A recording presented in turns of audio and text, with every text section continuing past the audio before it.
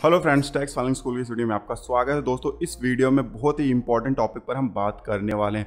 कुछ ऐसे important transaction के बारे में बात करेंगे जो कि रिपोर्ट किए जाते हैं इनकम टैक्स डिपार्टमेंट को। अगर आप वो ट्रांजैक्शन करते हैं तो उसकी सूचना इनकम टैक्स डिपार्टमेंट को मिल जाती है और इनकम टैक्स डिपार्टमेंट आपसे सवाल जवाब कर सकता है। तो जो इंपॉर्टेंट दस ट्रांजेक्शन है, उसको हम इस वीडियो में डिस्कस करेंगे। उसके अलावा अगले वीडियो में हम यह भी देखेंगे कि अगर इस तरीके के ट्रांजेक्शन रिपोर्ट किए जाते हैं तो उसको हम कैसे ट्रैक कर सकते हैं। अगर कोई सवाल जवाब हमसे किया जाता है तो उसका रिप्लाई कैसे दिया जा सकता है, कहाँ पर हमें पता चलता है कि हाँ हमें नोटिस भेजा गया क्वेरी भेजा गया, सब कुछ ऑनलाइन होता है। तो अगले वीडियो में वो भी हम डिस्कस करेंगे। दोस्तों, आगे बढ़े, इससे पहले मैं आपसे रिक्वेस्ट करूँगा कि आप हमारे चैनल को ज़रूर सब्सक्राइब कर लीजिएगा। इस चैनल पर इनकम टैक्स और पीएफ से रिलेटेड बहुत सारे वीडियोस आपको मिल जाएँगे और फ्यूचर में अपलोड भी होंगे। वीडियो अच्छा लगे तो लाइक ज़रूर करिएगा शेयर ज़रूर करिएगा। अब दोस्तों, जल्दी से आगे बढ़ते हैं सबसे पहला ट्रांजेक्शन क्या है, उसके बारे में हम इस वीडियो में बात करते हैं। अगर एक या एक से ज़्यादा सेविंग अकाउंट में पूरे साल भर में आपने अगर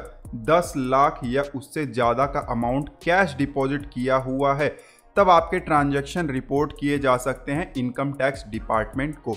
ध्यान देना है, यहाँ पर हम 10 लाख लमसम की बात नहीं कर रहे हैं एग्रीगेट की बात कर रहे हैं मतलब पूरे साल भर में भले ही आपने एक एक लाख करके डिपॉजिट किया हो कैश या पचास पचास हज़ार करके डिपॉजिट किया हो कैश तो टोटल अगर 10 लाख या उससे जाता है पूरे फाइनेंशियल ईयर में तब आपके ट्रांजेक्शन रिपोर्ट किए जा सकते हैं इनकम टैक्स डिपार्टमेंट को। उसके अलावा अगर आप कैश डिपॉजिट करते हैं या कैश विड्रॉवल करते हैं पचास लाख या उससे ज़्यादा तो यहाँ पर भी लमसम की बात नहीं की जा रही। एग्रीगेट मतलब पूरे साल भर में आप अगर पचास लाख का कैश डिपॉजिट करते हैं या कैश विड्रॉवल करते हैं, एक या एक से ज़्यादा करंट अकाउंट में तो आपके ट्रांजैक्शन इनकम टैक्स डिपार्टमेंट को रिपोर्ट किए जा सकते हैं। अब रिपोर्ट कौन करता है?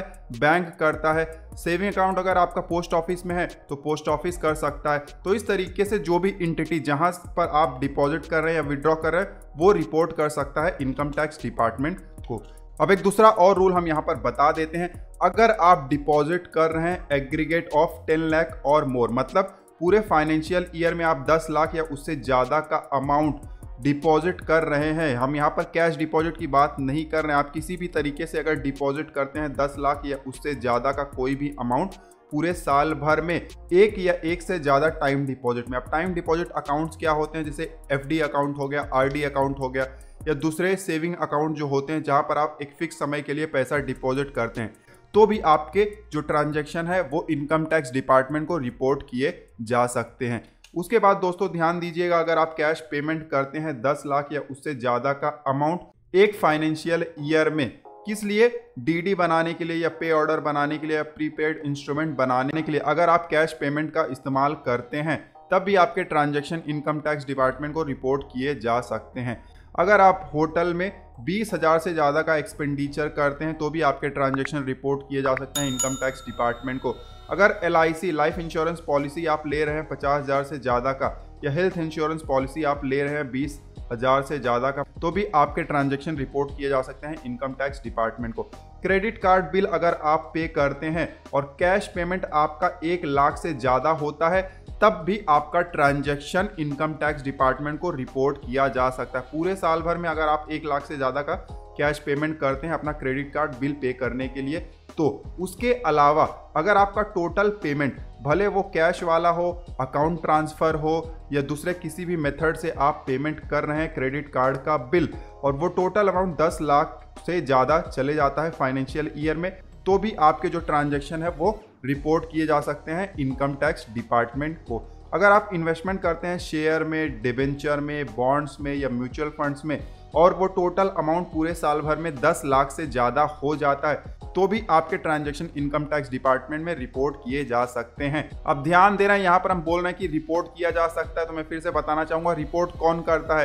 बैंक हो गया या कोई फाइनेंशियल इंस्टीट्यूशन हो गया, जिसके साथ आप ट्रांजेक्शन करते हैं, वो रिपोर्ट करने वाला है। उसके बाद आप अगर परचेस कर रहे हैं या सेल कर रहे हैं इमोएबल प्रॉपर्टी तो 30 लाख से ज़्यादा का अमाउंट अगर हो तो वह उस केस में भी आपका ट्रांजेक्शन रिपोर्ट किया जा सकता है इनकम टैक्स डिपार्टमेंट को। फॉरेन करेंसी आप खरीदते हैं 10 लाख से ज़्यादा का अगर एक फाइनेंशियल ईयर में तो भी आपके ट्रांजेक्शन रिपोर्ट किए जा सकते हो। सकता है आप फॉरेन कंट्री में जा रहे हैं तो वहाँ पर आपको फॉरेन करेंसी की ज़रूरत पड़े और आप अगर परचेस करते हैं फॉरेन करेंसी और वो टोटल अमाउंट 10 लाख से ज़्यादा हो तो इनकम टैक्स डिपार्टमेंट को इसकी खबर दी जाती है। उसके अलावा इलेक्ट्रिसिटी कंजम्पशन मतलब इलेक्ट्रिसिटी बिल आपका टोटल अमाउंट एक लाख से ज़्यादा आ रहा है पूरे फाइनेंशियल ईयर में तो भी आपका ट्रांजेक्शन रिपोर्ट किया जाता है इनकम टैक्स डिपार्टमेंट को। और इसके लिए तो अब आपको आईटीआर भी फ़ाइल करना पड़ता है। जैसे कि आप पिछले साल से आपने देखा होगा, पिछले पिछले साल से जब इनकम टैक्स रिटर्न फ़ाइल करने जाते हैं तो तो स्टार्टिंग में ही आपसे पूछा जाता है कि क्या आपका इलेक्ट्रिसिटी कंजम्पशन एक लाख से ज़्यादा है पूरे फाइनेंशियल ईयर में? अगर होता है तो कंपलसरी हमें आईटीआर फ़ाइल करना पड़ता है। उसके अलावा कुछ और ट्रांजेक्शन है, जैसे कि आप ज्वेलरी परचेस कर रहे हैं हाई वैल्यू पर पेंटिंग परचेस कर रहे हैं, कोई महँगी पेंटिंग है ऑर्नामेंट है, या हाई डोनेशन आप दे रहे हैं ज़्यादा पैसे का तो ऐसे केसेस में भी हो सकता है आपके ट्रांजैक्शन इनकम टैक्स डिपार्टमेंट को सूचित किए जाए। अब जब ये ट्रांजैक्शन रिपोर्ट किए जाएँगे इनकम टैक्स डिपार्टमेंट को तो वो हमें कैसे पता चलेगा, कहाँ पर दिखाई देगा? अगर इनकम टैक्स डिपार्टमेंट इससे रिलेटेड कोई क्वेरी आपसे पूछता है तो वो कहाँ पर दिखाई देगा? जल्दी से मैं आपको उसका डेमो भी दिखा देता हूँ।